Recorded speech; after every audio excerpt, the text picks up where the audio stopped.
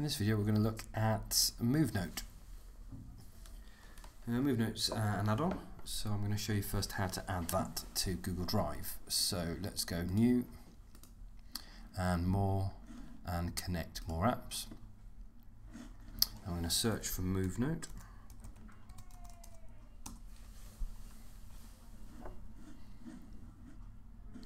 Uh, I'm going to connect that.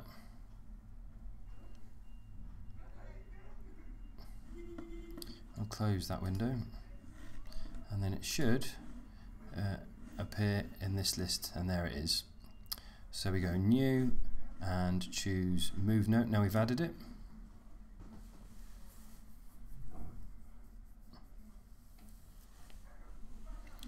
So it's asking for permission to add the camera, so we're going to allow that. Uh, allow. I'm going to ask it to remember that uh, and close.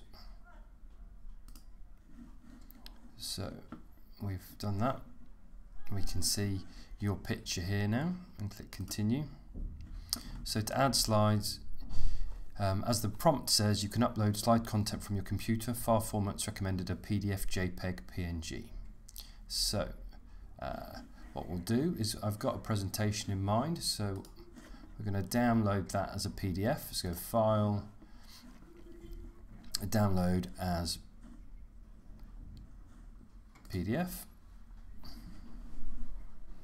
And we can see that's just progressing for us. It's just out of screenshot from you, but right, that's now downloaded. So that's now my desktop. So we're going to go back to our MoveNote tab. And I'm going to click on the plus slides and well, we could actually try from Google Drive, but let's try from Google Drive. Um, so let's try that and select. So it's just converting that for us. Um, so as you can see, what we're about is we're looking at how to provide feedback. And I think MoveNote is a great way where you can appear in shot, hello, this is me, um, and provide feedback to your learners on what they've produced. So we've added our slides there now we can see there's a, a, record function there. There's also the ability to disable the camera. So if you just wanted to provide audio feedback, you could do that as well. And then all you can do is just go through the slide and add comments. So let's go back to the start. I'm going to press record. Hello, I'm just going to go through and give you some feedback in your presentation. Um, as it was being presented in December, I like the theme you've chosen. Uh, I think this font may be a bit hard to read, um, but as it's only used for the heading, I'll excuse it in this case.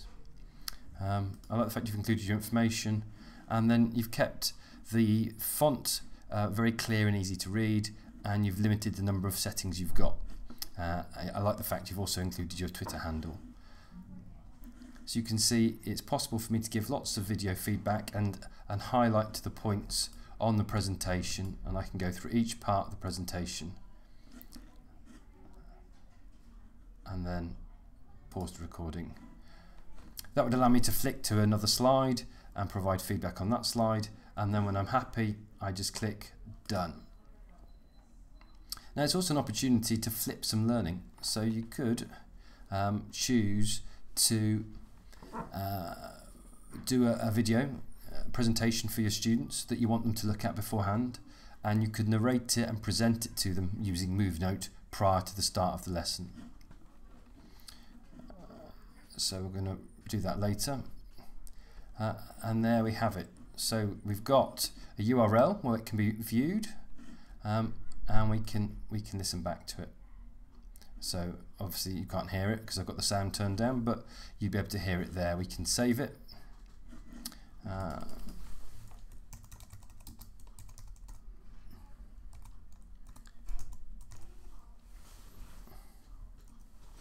so there you have it how to use MoveNote. So I think just to, to draw to conclusion, two elements where you can use it. You can use it for providing video feedback to learners, but you can also use it for generating flipped learning content. That's me done for today. Join me again next time.